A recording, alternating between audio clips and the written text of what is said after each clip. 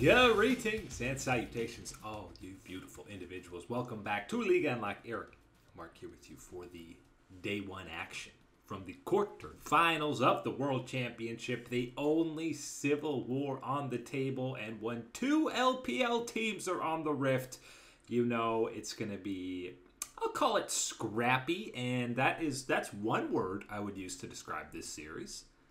To call it uh, freestyle finger painting is, is usually the the result of the art that we get from a couple of these LPL L versus LPL matches, the Civil War, especially when they're you know not necessarily at the tippity top of the LPL mountain like LNG and Weibo find themselves as where they are as the respective seeds.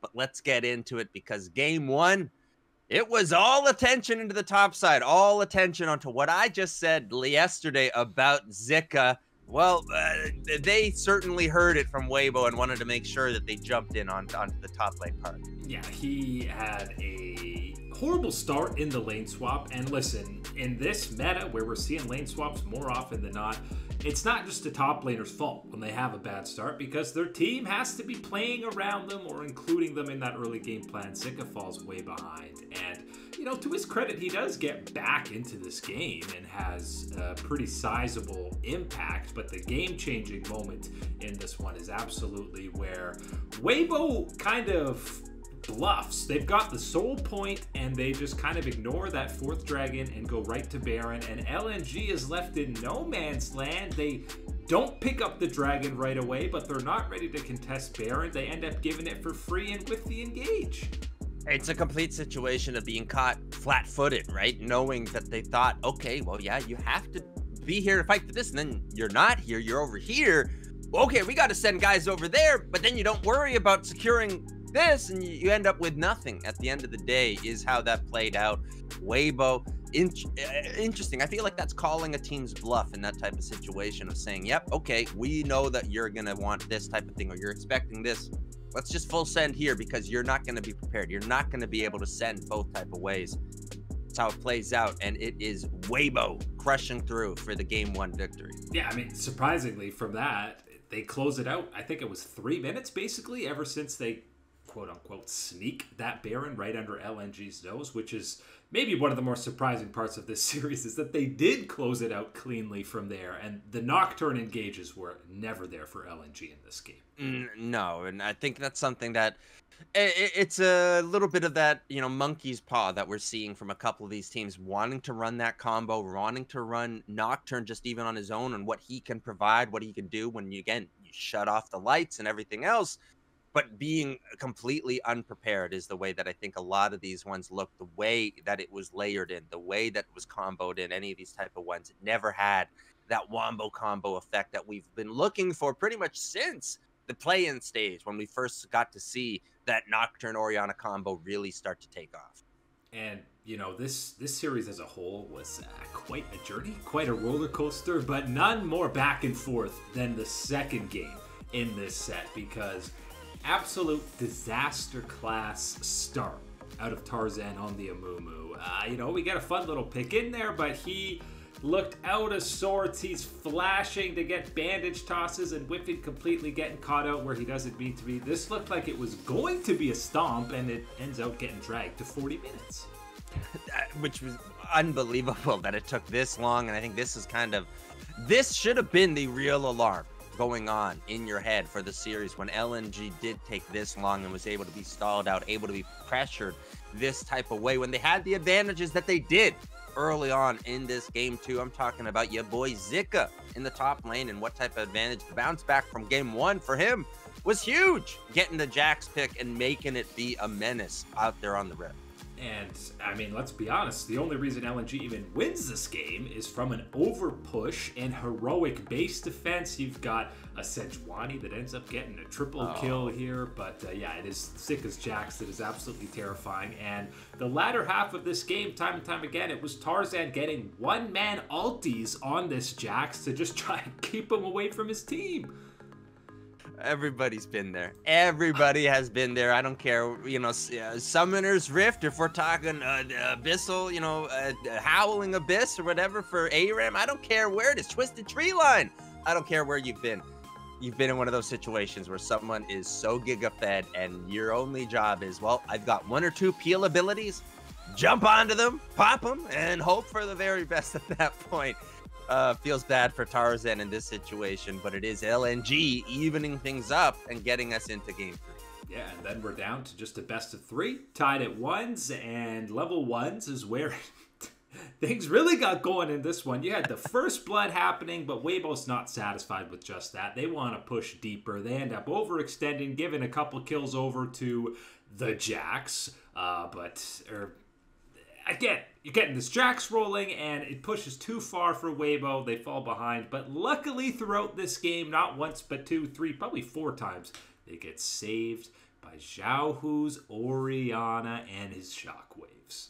Oh my god. Could they be more perfectly timed? I don't think so. The way that they were coming through, just at that moment of not only providing the use for your team and the damage that comes through, but it was also just almost a troll factor coming through with some of these ones just at the moments that they did to deny anything on the side of LNG. I'm also watching this one and I'm watching that early game and I'm kind of screaming at the computer screen going, why can't why can't these Eastern teams do this when it's Team Liquid or FlyQuest or one of these LCS teams or LEC even with G2 on the other side of the rift. We don't get these type of overextension, greedy type of plays against us. What's going on? Yeah, and I mean that's just when you're in the chaos that is the LPL. You you don't even know what's going on yourselves. But uh, the key play here, there's a moment where Scout is flashing forward after LNG's kind of want to fight to try and kill Xiaohu, and he pops Zhonya's. That's a make or break moment because at that point, I forget the number, but Xiaohu has at least like a four or 500 gold bounty on his head. And I feel like if they get that kill there, that alone might be enough to swing the gold into LNG's favor. Oh, that would have been a big one. That would have been a big boost up of the golden, especially because again, you're looking at who on LNG is popping that, right? Who's getting that gold? Who's getting that power up? Would have been a carry, would have been a big time player for the team. And of course, doesn't come through. Weibo find their strength, regather themselves, and get away with this game three, taking us to game four with Weibo in the driver's seat. Yeah, and listen, this game, the heroics, you see Light launch this arrow as they're fighting oh. around Baron, and you're going, man, he whiffed right in between them. But no, he's an absolute genius and hits Zika right as he lands the TP. How many times have we seen someone with that. I think it was Massu earlier in the tournament that was off by a pixel. Light is right on, and that final team fight that somehow ends up being 5 0 for Weibo. Zik is too late. He doesn't even get to participate, all because of that arrow. Oh, it is so good. You love to see utilization of an ultimate in that type of situation where it isn't just about, okay, well, we're stopping you because someone's going to jump onto you or whatever. We're stopping you to get the. It was purely just, all right, we know we're going to have the numbers here for us if he is stopped, if he is held up in any type of way. And again, we have seen that play. It's one of these ones where you'd love it to be that instant. You'd love to expect every single time that professionals are going to make this play. We all see it in our games. You know that people miss the timing on teleports, miss the timing on Zhonya's to layer in a CC ability, layer in some type of, uh, you know, factor to stop that person. Light nails it this time around. And I think even in this series earlier, we saw a couple of missed ones. I think the scout on the Ahri missing a couple of these type of moments, these type of plays. So for Light to nail it in such a crucial moment to give Weibo the advantage, you like to see that as a player. And finally, we got to see some momentum carry into the next game because right from the get go, this was Weibo all day taking control, and in a game where you're seeing, oh my god, we've got the Yone and the Aurora matchup. I'm starting to think that Jax might actually the biggest problem at this tournament so far because it's yet another game where Breathe is terrifying. I'm talking to all the Renekton, all the Jhin players out there. I don't care if you're a main, you love this champion, or if you've played him once. Let me ask you, would you like to be drafted right into a red side pick one Jax on the other side? Especially seeing what Jax has been able to do at this this series. no way would you be wanting to play into that one. So absolutely questionable choices straight out of draft. Pretty much a full AD composition, and you're rolling specifically the Renekton and the Jhin into that Jax and what they're going to have to fight through. Almost impossible. And it certainly looked that way out there on the Rift early, given the way that Weibo was pushing their composition. Yeah, and this was the only game in the series that wasn't close. LNG looked discombobulated. This was there was no back and forth. The only back was okay. Scout gets a pretty sick triple kill on the Yone, tries to save the game, but Xiaohu's Aurora got pretty damn fed in this one. Ezreal for light, he's able to clean things up, and it's the fastest, most clean game of the series for Weibo to complete what absolutely is the upset. And how about your boy Xiaohu going 14 0 and 22 across games three and four?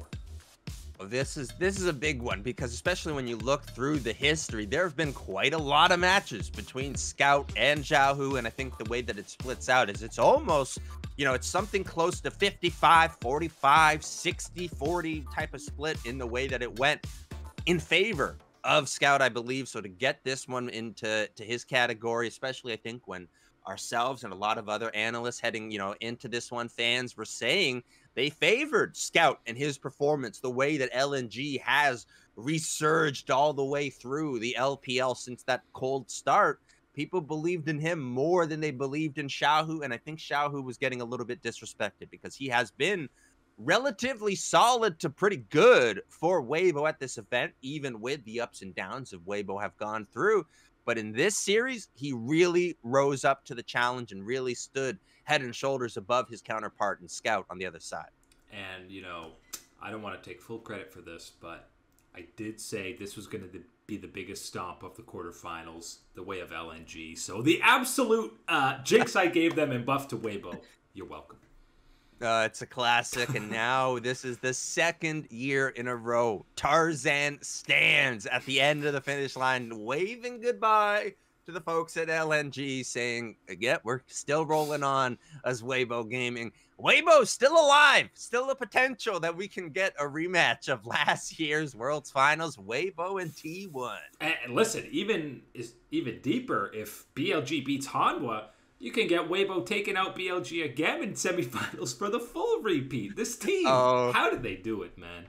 BLG are not ready for that one. They are still too fragile, too hurt from how things went all the way through the Swiss stage, having to take down G2 to get into this position, and then having to run through Hanwha Life and waiting for you is your old nemesis in Weibo Gaming.